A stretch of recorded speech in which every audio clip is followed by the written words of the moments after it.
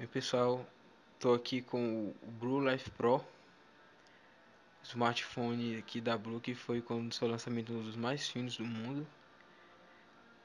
Possui uma câmera de 12 megapixels, câmera frontal de 5 megapixels tela de 5 polegadas em resolução HD e aqui está sua caixa bem bonita com as especificações aqui na traseira você pode ver a média de conexão, processador quad-core de 1.5 é, GHz, tela HD, 1 GB de memória RAM, filme em Full HD a 30 fps, é, bateria de 2.500 mAh, ou seja, tem uma boa duração, uma duração muito boa. Android 4.2, vamos esperar a, a Blue fornecer atualização do KitKat oficial para ele e 16 GB de memória interna. Ele não aceita cartão SD e não é do SIM. Ele aqui no momento está sem chip, mas é, ele realmente é só um, um, um sim. Ao contrário de, alguns, de muitos outros aparelhos da linha Blue, que tem vários, vários aparelhos dual SIM, incluindo os top de linha. Esse celular ele custou ele tem, foi comprado na casa dos 600 reais pelo Mercado Livre.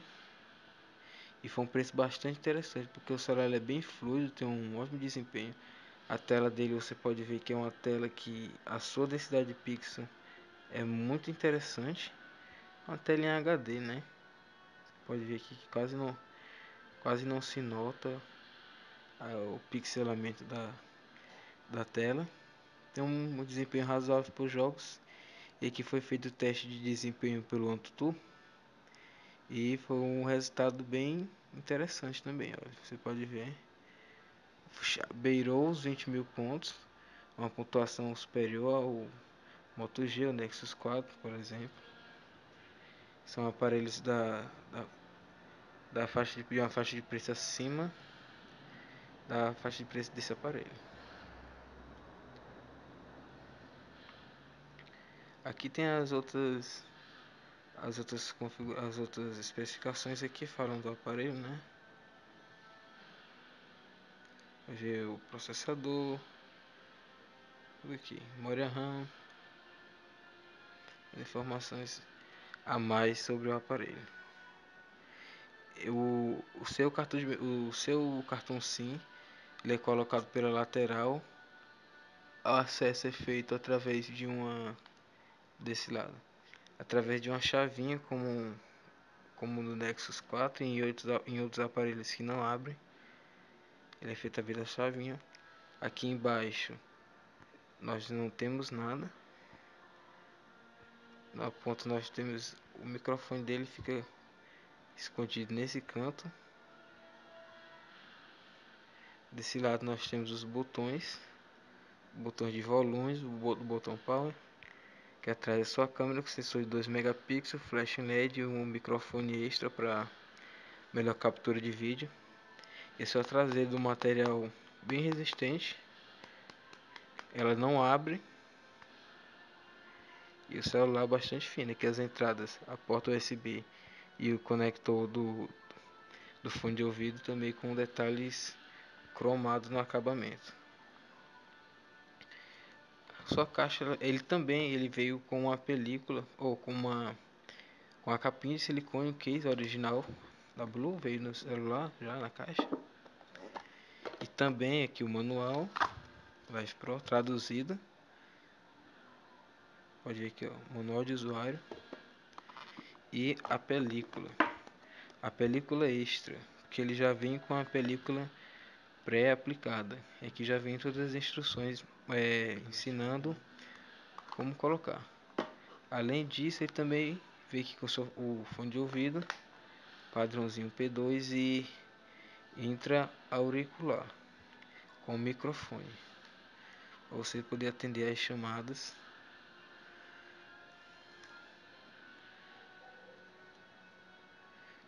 Você poder atender as chamadas sem necessidade de pegar no aparelho. E aqui o conector padrãozinho com a logo da Blue.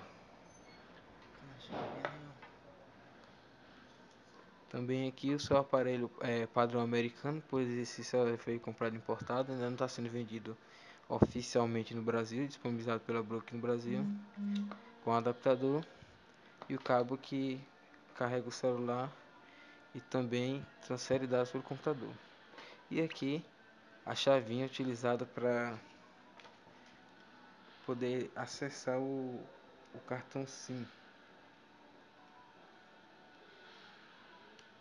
Você coloca, aperta e sai a gavetinha onde você coloca o micro SIM aqui, coloca no aparelho, pronto. Só não deve perder essa chave. Então é isso pessoal, o celular é muito interessante, é, tem um bom desempenho, um ótimo custo-benefício.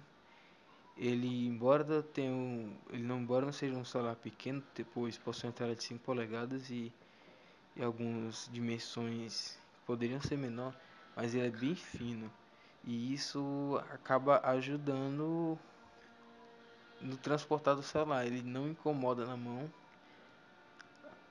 não incomoda de jeito nenhum, você consegue mexer, ó, você consegue alcançar a tela do celular com a sua mão e não é um problema. A câmera dele, logo mais eu vou postar fotos tiradas, fotos e vídeos feitos com ela, mas também é uma câmera de ótima qualidade. A câmera, diante, a câmera dianteira dele possui 5 megapixels e é muito boa. É, nessa categoria nenhum aparelho oferece câmera de 5 megapixels. Até os aparelhos top de linha não oferecem câmera de 5 megapixels. Então, para quem gosta mesmo de, de fotografar, tirar selfies, essas coisas, esse celular é espetacular. Então é isso aí, pessoal. Eu vou deixar aqui com vocês as fotos e os vídeos feitos com ele. E curtam e compartilhem o vídeo. Valeu!